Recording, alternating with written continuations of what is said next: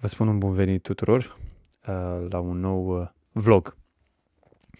După cum spune și titlul în acest vlog, aș dori să vorbesc despre certurile de cuvinte. Există mai multe pasaje clasice în Noul Testament care abordează subiectul acesta, dar motivul pentru care eu îl abordez este datorită faptului că am auzit citată expresia, niciodată n-am auzit citat un verset întreg, am auzit citată expresia uh, cu referire la anumite dezbateri care au loc în mediul online sau uh, în diverse cadre.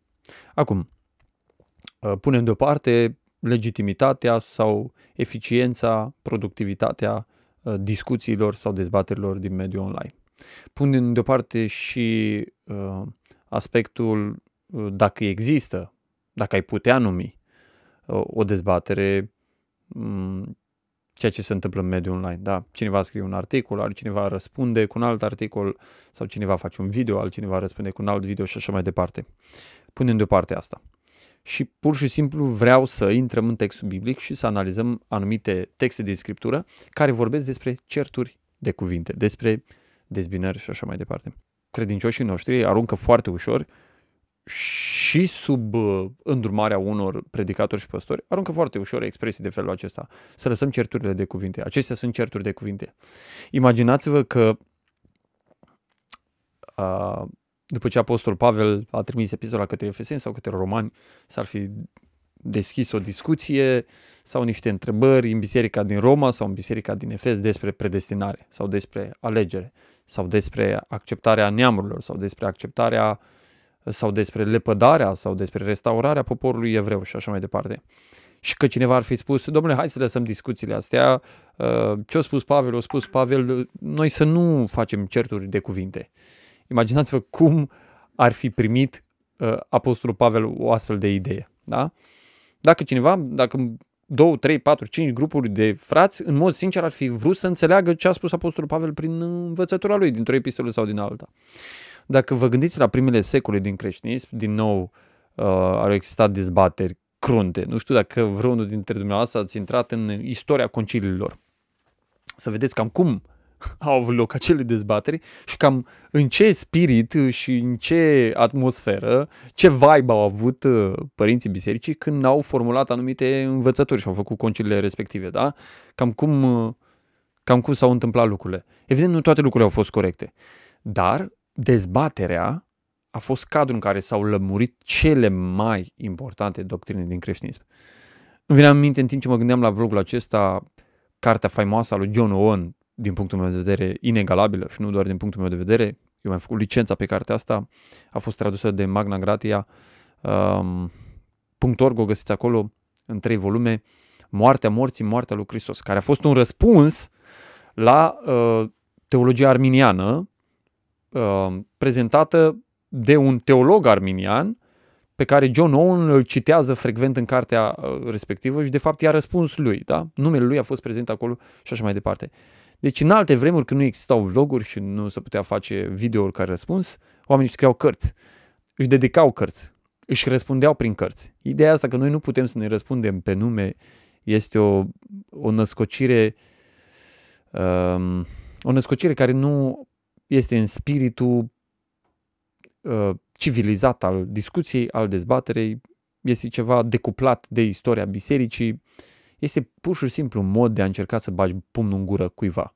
Asta este tot din punctul meu de vedere. Dar să ne întoarcem la uh, oile noastre și la pasajele care folosesc expresia certuri de cuvinte.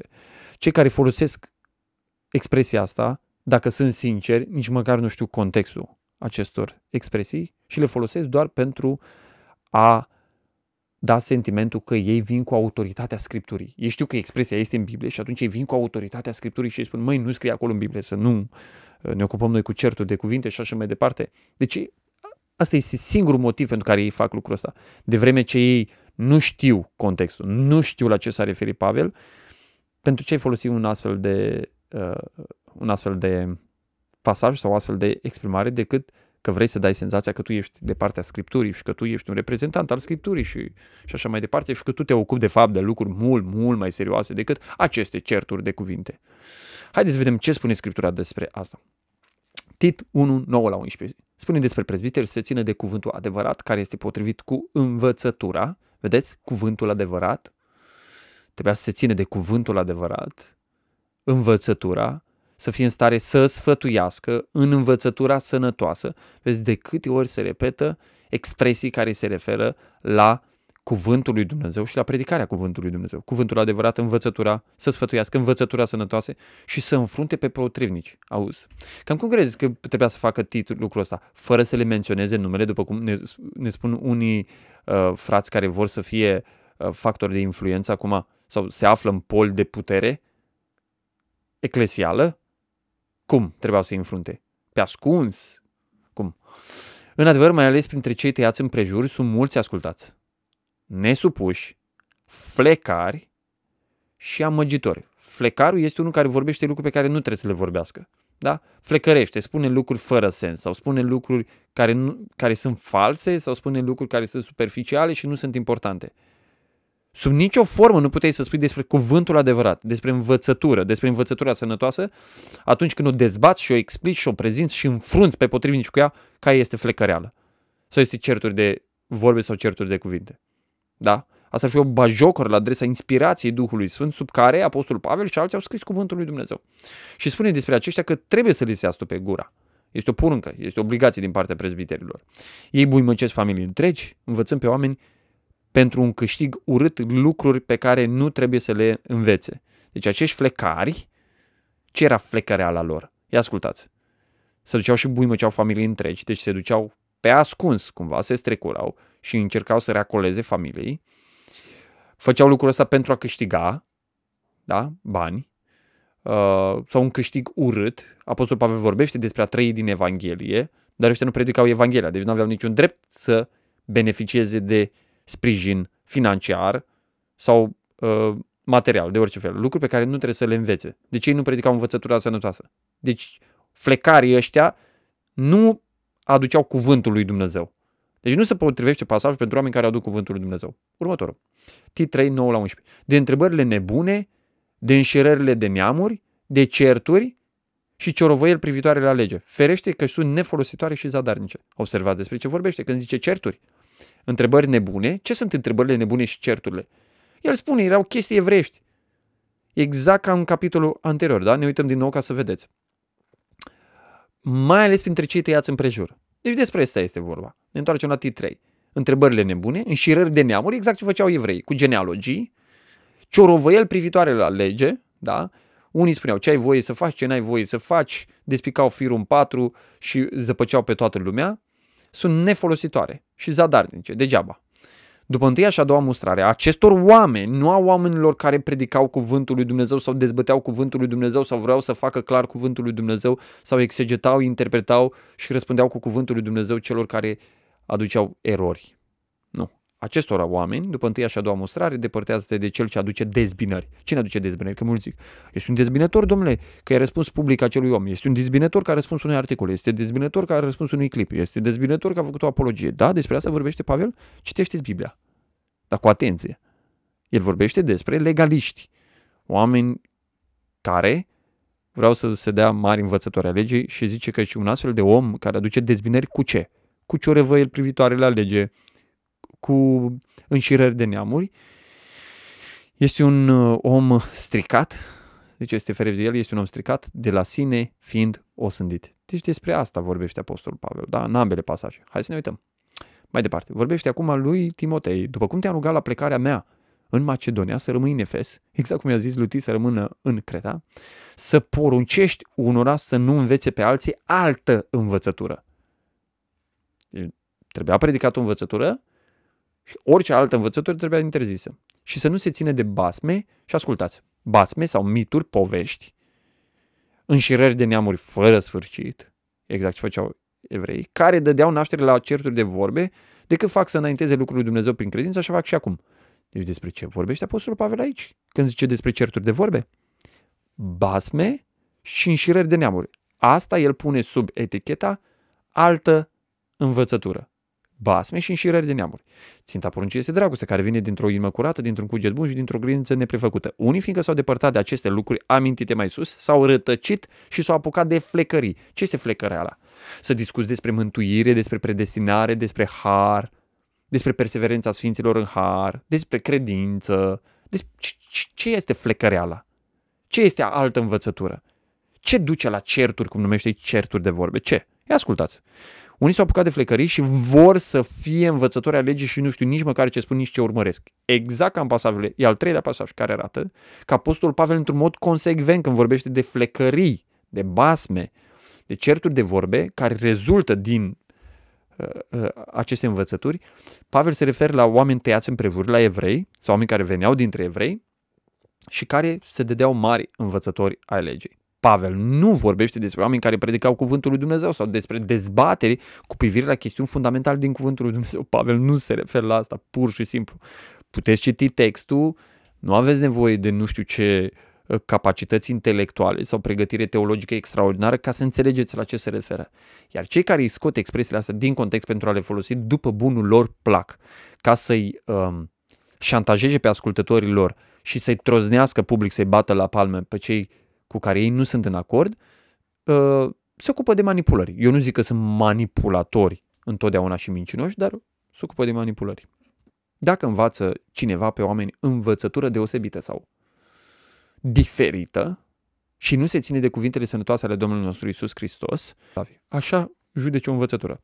Dacă este a Domnului Isus și doi, dacă, nu doar dacă a fost pusă de Domnul Isus, Uh, ci dacă îl prezintă pe Hristos așa cum este El și duce la evlavie. Teamă de Dumnezeu, sfințenie practică. Este plin de mândrie, nu știe nimic. Banca are boarba, boala cercetărilor fără rost și a certurilor de cuvinte. Și ascultați. Uitați, din care se nasc pisma, certurile, clevetirile, bănuierile rele, zadarnicele, ciocniri de vorbă și asta și imaginează unii. Că acum, domnule, dacă discutăm despre predestinare, despre harul irezistibil, despre ispășire, despre pierderea mântuirii, asta sunt ciocniri de vorbe. Sunt certuri de cuvinte, da? Sunt certuri de cuvinte, certuri de cuvinte. Zice, zadarnicele ciocniri de vorbe ale oamenilor stricați la minte, lipsiți de adevăr. Deci vorbește despre oameni lipsiți de adevăr.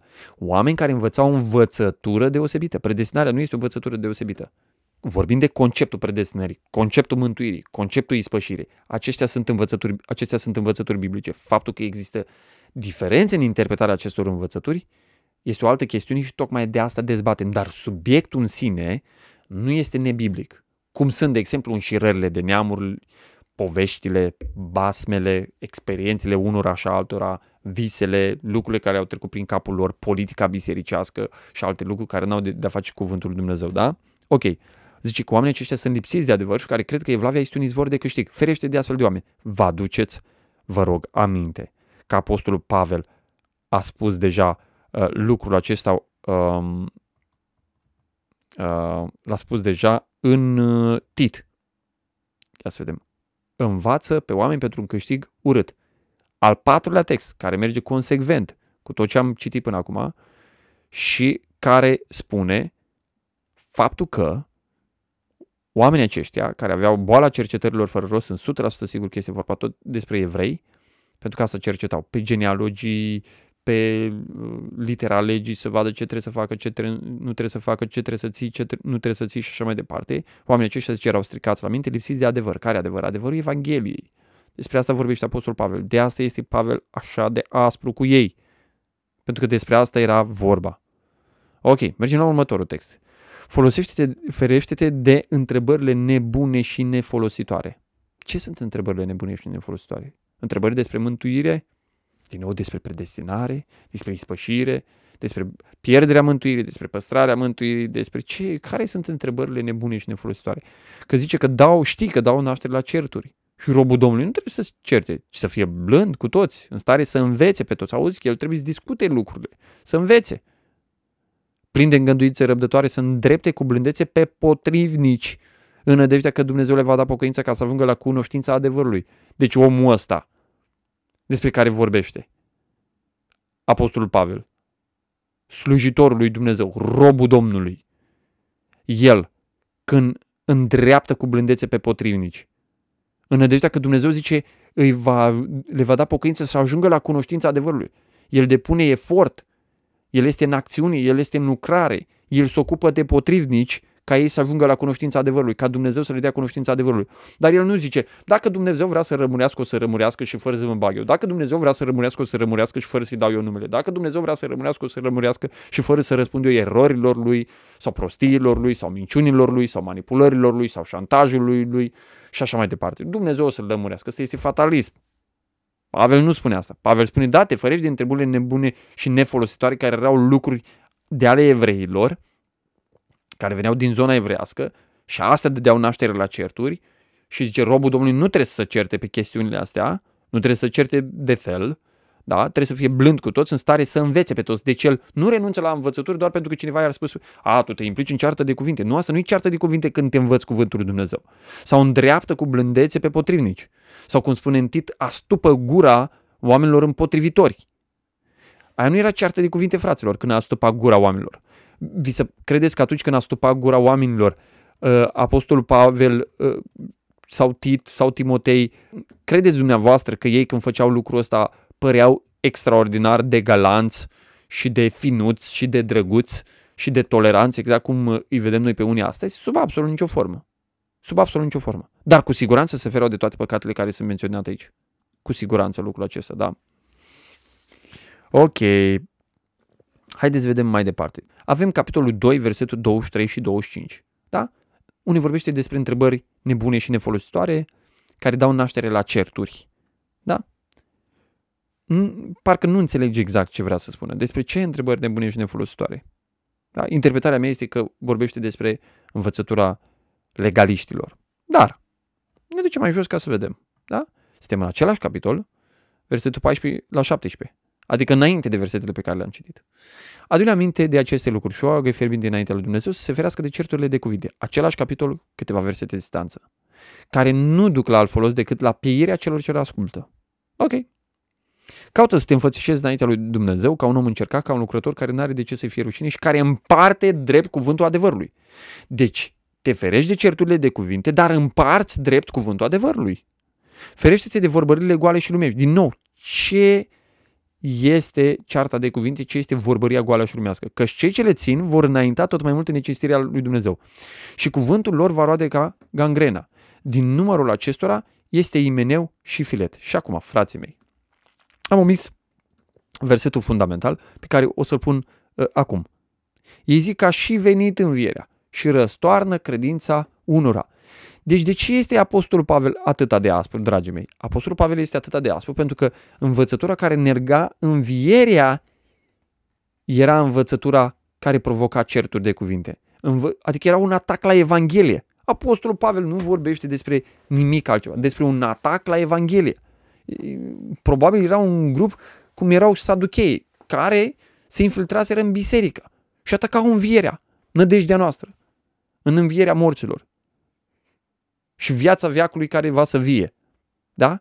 Și el spune despre oamenii aceștia că produceau certuri de vorbe, evident ei nu împărțeau drept cuvântul adevărului, cuvântul lor rodea ca gangrena, ei înaintau în necinstirea lui Dumnezeu tot mai mult, învățătura lor era vorbărie goală și lumească. Și zice, s-au abătut de la adevăr, răsturnau credința unora, adică învățătura pe care unii o aveau. Da? Ce trebuia să facă Timotei? Păi spune după aceea în pasajul pe care l-am citit anterior, da? Să se ferească de întrebările ăstora, nebune și nefolositoare, și să învețe pe toți. Adică reacția lui Timotei la ce se întâmpla era să dea învățătură. Nu să stea și să uite. Zic că, na, ei au spus lucrurile astea, este părerea lor, este interpretarea lor, Dumnezeu iubește și pe ei. Nu? Era democrație. Dar să traduce pentru vremurile astea. E democrație, trăim într-o țară liberă, dacă nu-ți convine, du-te și fă biserica ta, dar du-te în liniște, nu fă gălăgie, da? fă tu biserica ta în care predici învățătura ta, că nu există înviere sau că învierea au și venit, uh, că trebuie să mai ținem legea sau aia, sau aia, sau aia, sau aia. Mm, spune că e bună jertfa Domnului Iisus, mai adăugăm și ceva la ea. Uh, da, lucruri din astea așa. Da, da, trebuie să fim toleranți, domnule, am evoluat, nu ne mai certăm acum toate lucrurile, că așa zice Biblia, să nu ne ocupăm cu certuri de cuvinte. Ce spune Pavel că trebuia să facă? Să ferească, sigur. Adică Pavel când îi spune să ferească de întrebările nebune și nefolositoare care dau naștere la certuri, Pavel îi spune să se ferească de modul acestora de a face studiu biblic, de modul acestora de a-și propaga învățătura, că așa propagau învățătura. Intrau în case și începeau discuții și dezbateri pe genealogii, pe lege, pe lucrurile care interesau pe ei și cu care furau mintea și sufletul credincioșilor de la adevărul Evangheliei curat al lui Dumnezeu. Asta făceau. Despre asta este vorba. Da? Și Pavel îi spune, uite, robul Domnului trebuie să fie în stare să învețe pe toți. Nu doar la învon, nu doar în biserică, ci și în cadrele astea private în care s-au băgat șarlatanii ăștia. Nu doar la învon, nu doar în biserică, nu doar la modul general, ci nominal numind pe unul și pe altul, pe Imeneu și pe Filet, oameni care s-au bătut de la adevăr și au rămas în Sfânta Scriptură. Dar noi suntem Apostolul Pavel. Nu trebuie să fii Apostolul Pavel ca să indici o învățătură eronată care împânzește biserica și care afectează credința oamenilor. Că nu e vorba numai despre înviere aici. Nu este vorba numai despre înviere. Și vedeți, de exemplu, uh, există situații în care, într-adevăr, avem oameni care nu sunt rătăciți de la credință, nu sunt dușmanii lui Hristos, nu sunt vrășmașii lui Hristos, dar îl predică pe Hristos într-un mod în care n-ar trebui să-l predice. Acum, vorba lui Pavel, ne bucurăm când Hristos este predicat Hristosul adevărat. E dar în momentul în care începi să caricaturizezi, începi să deformezi portretul lui Dumnezeu, începi să amesteci paiele cu grâul, nu mai poți să spui, domnule, noi trebuie să stăm liniștiți, să ne vedem de treaba noastră. Când ai ieșit din granițele adunării în care slujești și te împânzești cu învățătura ta peste tot, și a intrat în casele oamenilor și a intrat în mințile oamenilor care nu sunt sub păstorirea ta, nu sunt supravegherea ta, nu sunt sub autoritatea ta. Dumnezeu nu ți-a dat misiune ca să avânci. Dumnezeu nu ți-a dat misiunea ca să avânci în, în casele lor cu învățătura ta eronată, atunci trebuie să te aștepți ca să fii indicat cu nume și prenume atunci când sar gardul, când te-ai dus la furat.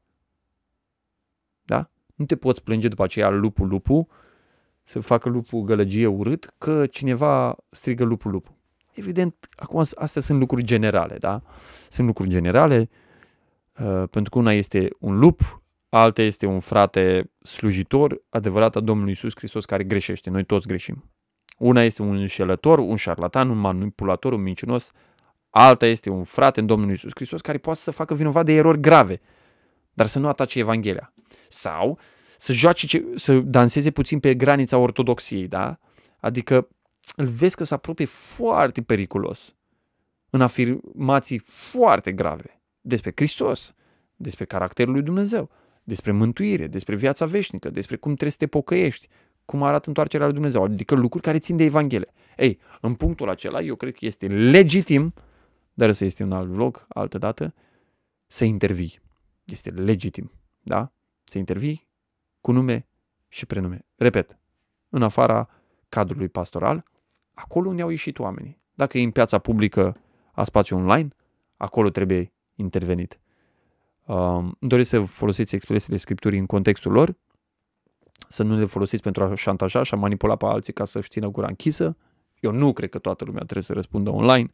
Nu cred că este cel mai potrivit spațiu pentru dezbatere, dar cred că lucrurile acestea se vor cerne de-a lungul timpului. Oamenii care au ceva de spus vor spune, oamenii care n-au nimic de spus își vor face viacul și se vor duce uh, în treaba lor, uh, iar cei care au ceva de spus vor rămâne pe metereze, vor discuta, cei care sunt în aceeași uh, barcă, cu aceeași Evanghelie, cu același Hristos, chiar dacă sunt în tensiune, mai devreme sau mai târziu se vor apropia.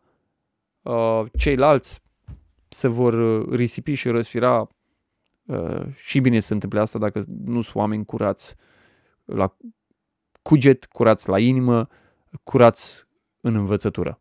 Dumnezeu să vă binecuvânteze pe toți. La revedere!